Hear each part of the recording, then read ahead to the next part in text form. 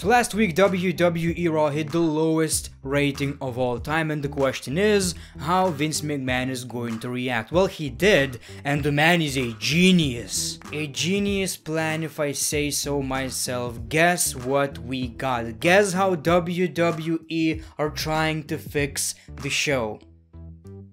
A six-man tag team match, a six-man street fight. Damn. Damn. But that's not all. The landscape of Monday Night Raw is going to change when in a couple of weeks we are going to get Raw Legends. When I'll see legends like Hulk Hogan, Ric Flair, Alicia Fox and Carlito, I'll change my opinion on the show. There's definitely plenty of reasons to watch the next week after that. Barbecue. Welcome everybody to Greatness of Raw. And you know, lately I'm trying to make my videos a bit more entertaining, you know. You may get less videos, but quality or quantity, or both, we'll see. Uh, the thing is, you know, we can bitch and moan about about Raw being a horrible show, and let's be fair, WWE management should be sweating like a hooker in the church right now, but I actually, I'm actually trying to help.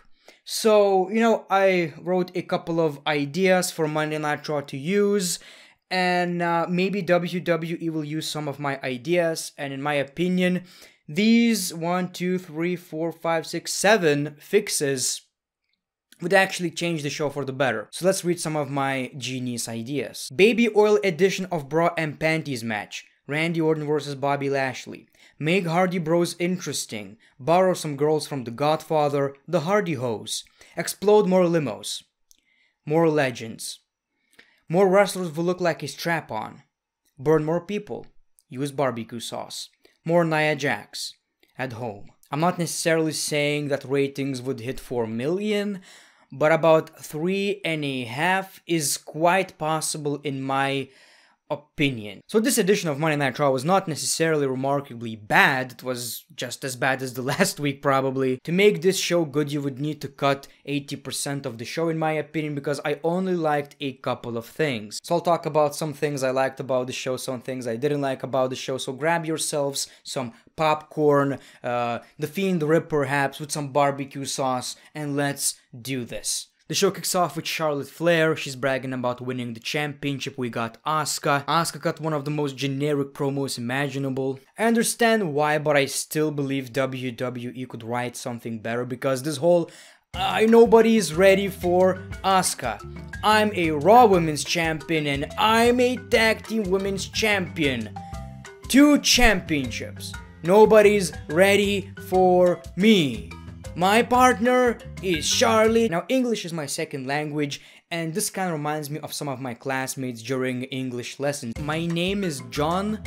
Uh, I like food Apple is red. Just write something better for her, please. Anyway, we got the worst wrestler in the world in Shayna, Baszler. They won their championships back. Then we got Mandy Rose and Dana Brooke. They made fun of Nia and Shayna Baszler for losing the championships. And Charlotte was like, I'm seeing two great tag teams. I want to see this match. Do you guys want to see this match? I want to see this match. Let's do this match. I don't want to see this match. Nobody wants to see this match. Jimmy from Pennsylvania doesn't want to see this match. Tom from New York doesn't want to see this match. And most importantly, I don't want to see this match. The wrestling genius. Uh, dude, like that that was the moment I've realized WWE are not gonna try shit to fix ratings. Nia Jackson Shayna Baszler won the match and that was pretty much it. And except we got Brooke and Rose coming from behind, knocking Jax and Baszler to the floor. Cannot wait to see what's gonna happen next. No one said that ever. We see the gold edition of the Hurt Business in the ring. Everyone's wearing a championship except for MVP. This basically set up a match between the Hurt Business and uh, Riddle and Jeff Hardy because they interrupted and none of this actually made sense. You know, Jeff Hardy's like, you know, guys, some things in life are actually a lot more important than just money. I bet you jealous I'm a champion. Does anyone actually enjoy the Hardy Bros? Are you guys interested in that? Is it me who just doesn't give a single crap? We got Drew Gulak versus Angel Garza. Ooh, I wonder who's gonna win that match. So Angel Garza won. Seems like he's back. Now, one of the highest points of the show was Miz TV segment. I don't know why the Miz wants to apologize to AJ Styles. That didn't really make a lot of sense, but he actually apologized to AJ Styles for, well, AJ not winning the championship. I mean, that doesn't make any sense. You cashed in your money in the bank briefcase. You wanted the championship. Why would you want AJ Styles to be the champion? But Amos is the smart one. He's like, John Morrison actually cashed in, not you. And The Miz actually realized that, well, that's true, I should be getting my money in the bank briefcase back. Then we got the babyface team, you know, Drew McIntyre, Sheamus, and Keith Lee. They told a Nightmare Before TLC sequel, and it was an okay segment, I guess. We got a little brawl. Uh, and that was the end of the segment. Basically, a six man tag is coming up. Cannot wait to see that. You know what I want more in wrestling? Six man tag team matches. You know, I believe Raw lacks some six man tags, and AEW lacks some tag team matches, man. Only five or five or, or six tag team matches on the show. I believe that's not enough. You know, you need to make more. So maybe The Miz is getting back his briefcase. I don't know. I honestly would love to see that because this was basically just a waste of time. So I wouldn't really mind, I guess, until WWE decide when it's the right time to make The Miz into a WWE champion. We got Ricochet versus T-Bar, in which Ricochet obviously lost, and of course they want Ricochet in retribution. Ricochet, one day you're also going to put a strap on, and we're gonna have some really rough sex. MVP and Bobby Lashley versus Riddle and Jeff Hardy was a match that we got. That was a weird sentence. I don't know who cares, honestly. The Hurt Business won. Whatever. Who gives a shit? We got some more irrelevant shit that I don't want to talk about. Another highlight of the show was this Randy Orton promo segment with Alexa Bliss. So he's talking about the Fiend, you know, he can still smell it, see it. As a matter of fact, right here in the middle of the ring, it happened. So he talked about that until the lights went out. Can it be? Is the Fiend back? No, it was Alexa in her playground. That's nothing weird here. Okay. And this was actually a good segment. Uh, it's on YouTube. Go watch it. I believe it's worth it. Uh, the point of this segment was that the Fiend will be back one day, and it's gonna be unlike anything we have ever seen before. So I actually like it. You know what? I would love to see the Fiend returning before WrestleMania. Maybe he should take a break. Maybe at the Royal Rumble, but maybe that's a bit too soon. It needs to be. I don't know, it needs to feel special. It needs to be something different, just a little bit.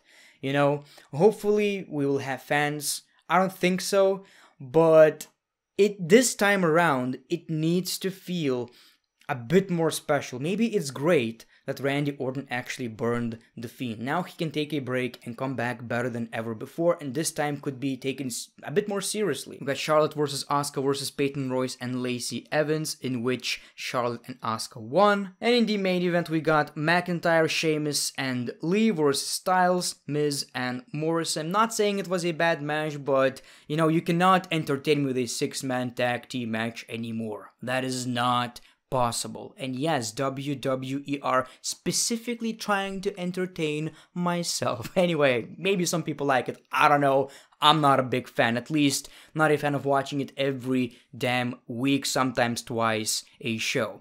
Anyway, Keith Lee, Drew McIntyre, and Sheamus won, but since we got some miscommunication during the match between Keith Lee and Sheamus, Sheamus Brogue kicks Keith Lee, Drew McIntyre is angry about that, whatever. So what's the next match? Royal Rumble, Drew McIntyre versus Sheamus, Drew McIntyre versus Keith Lee, a triple threat match? I don't know. I would go with Drew McIntyre versus Sheamus. There's already story, you know, behind it. A long story. They're actually very good friends. I really wanna see that match. Two giants amazing. Please give us that match. So that was your Monday Night Raw, and people, I have a big promise. Next week, if Raw is gonna be even worse, or we won't see any improvements, I don't think next week is the Legends show, but still, if we're not seeing anything better and it's gonna be just as bad, I'm calling Vince Mc. I'm straight up calling Vince McMahon. Yeah, I'm calling like that is a promise. During the show, I'll make a big call and we'll talk. We'll talk with our boy. So thank you for watching this video, the Great One Peace Love and Hugs. It's been a pleasure. I'm so excited for Raw Legends, dude. We're gonna see Alicia Fox.